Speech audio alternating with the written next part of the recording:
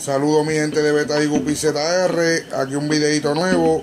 Hoy les voy a estar mostrando o diciéndole cómo es que yo le doy cambio de agua al 100% o al menos podríamos decir al 99%.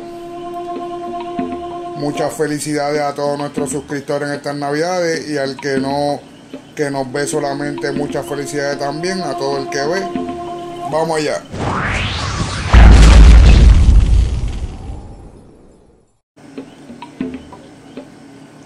Aquí están viendo que estoy llenando uno de los cajones que ya se limpió o uno de los estanques. Le estamos echando el agua que siempre ya tenemos preparada. Lo limpiamos con este cepillo. Lo limpiamos lo más que podemos.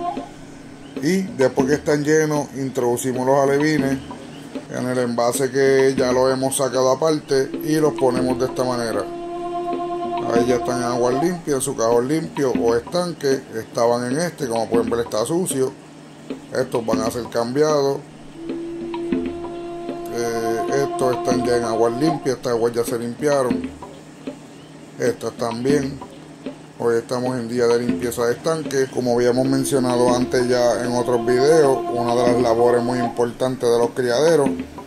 Miren cómo está ese en el fondo ya lo que lleva es una semana sin limpiar ya que como estamos en tiempos de frío están más propensos a que se enfermen lo que hago es que los mantengo con su agua más limpia de lo normal. Si antes lo cambiaba cada 7 8 días, ahora lo cambio cada 4 o 5 días y los mantengo de esta manera limpios. Y así trato de evitar un poquito las enfermedades para que nuestros alevines se mantengan saludables en agua limpia. Como pueden ver, esto lo saqué de un estanque, van para este que ya está limpio, le cepillamos por encima lo más que se puede el estanque o su cajón. Y lo mismo vamos a estar haciendo con todos estos cajones porque hoy le toca.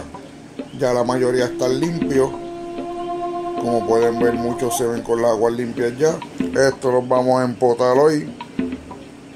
Esta agua ya están esperando los alevines que vienen para ahí que como pueden ver están aquí.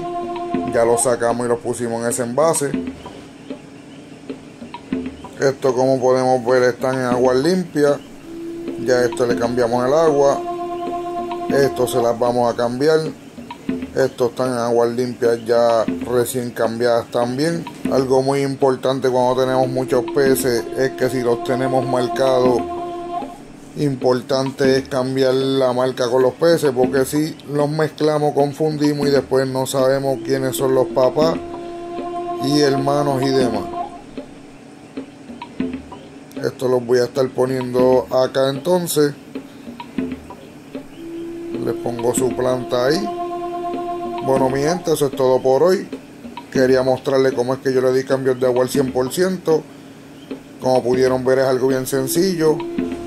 Ya que los alevines tienen más de un mes es más fácil el manejo ahora yo lo que hago es como les mostré los saco con una malla, los recojo todos en su envase, en el agua que estaban y los pongo en esa agua, aunque es temprano y los alevines y el agua están todas a la misma temperatura, por si acaso un shock térmico los pongo a flotar también.